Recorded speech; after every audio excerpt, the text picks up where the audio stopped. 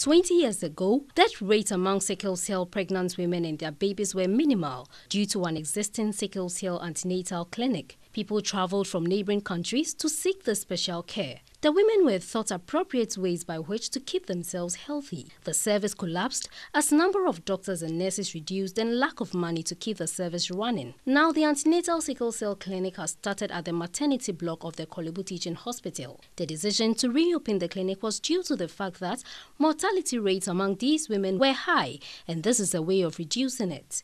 Dr. Samuel Lynch Johnson is one of the specialists. Sickle cell patients are generally weak. They tend to have anemia very often. Fact, they are almost always anemic. And then, most importantly, they develop complications associated with the sickle cell disease more often during the pregnancy. And by that, we are referring to bone pain, chest pain, we are referring to rapid breakdown of their blood cells. All these are critical conditions in the sickle cell patient, which often are made worse in the presence of pregnancy. The clinic opens once a week on Wednesdays for sickle cell pregnant women. This life it's very important not only to herself and her unborn baby, but to the general society.